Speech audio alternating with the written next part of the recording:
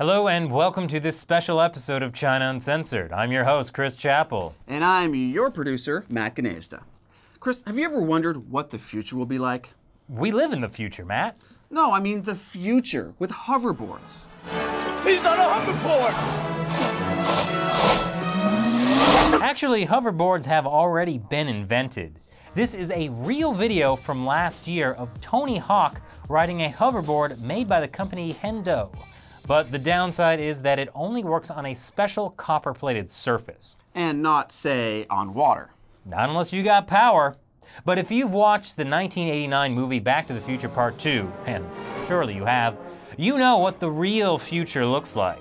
We're descending toward Hill Valley, California at 4.29 p.m. on Wednesday, October 21st, 2015. 2015? You mean we're in the future? Wow, we are living in the future. Yep. And that's why today we're going to look at the top 10 things Back to the Future Part 2 got right. Number 10 TV screens everywhere.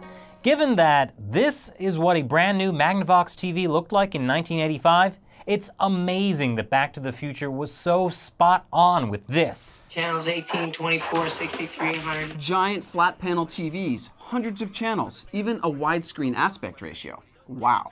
Number 9. 80s nostalgia. So, Marty McFly goes into the cafe 80s.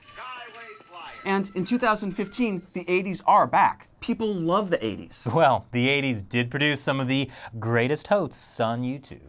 Yeah, anyway, once again, we have jeans jackets, puffy vests, goofy sweaters. Thanks, Katy Perry.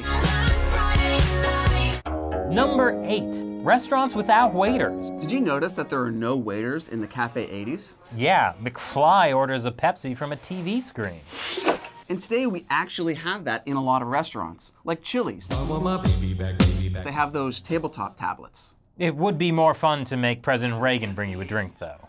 Yeah, but then you'd have to interact with other humans, which kind of defeats the whole purpose. Number 7. Hands free video games. You know that part where the kids say, your hands? That's like a baby's toy.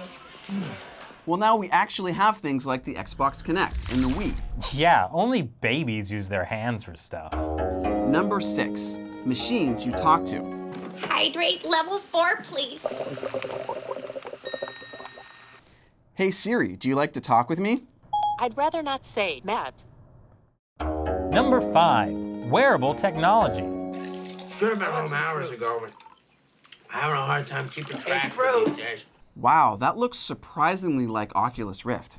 But you know what makes this really accurate? People paying more attention to their technology than their loved ones around the table.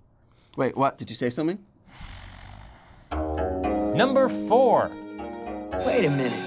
Cubs win World Series. Against Miami? Yeah, it's something, huh? Amazingly, it is actually possible for the Cubs to win the World Series this year. For the first time in a century. But the movie got the dates wrong, so as of this recording, we still don't know whether the Cubs will win. But you know what they did get right? There's a team from Miami. Yeah, Florida didn't even have a baseball team until two years after this movie was made. And they weren't called the Miami Marlins until 2011. Number 3. Surf Vietnam.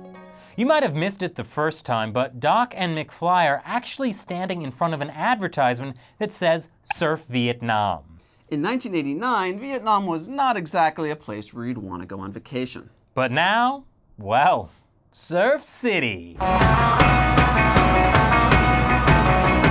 Number two, drone reporters. Chris, remember when you used to be a reporter? Yes, I was replaced by a drone. Well, in 2015, a lot of people are using flying drones like this to take pictures and footage. And even though it's technically against FAA regulations for media companies to do it, it's being done anyway. Well, the most accurate part here is that human reporters are being replaced by machines. And number one, Hey, what's that Doc Brown looking through? Yes. why, it sure looks like an iPhone to me. Boom! Considering this movie was made almost 30 years ago, they actually got a lot of things right. But you know, they didn't get everything right. And that's why you should check out our other video, 10 Things Back to the Future Part 2 Got Wrong. Back to the Future predicted the future traveling 30 years ahead from 1985. So, your predictions for 2045? 全世界的人都会说中文。是的。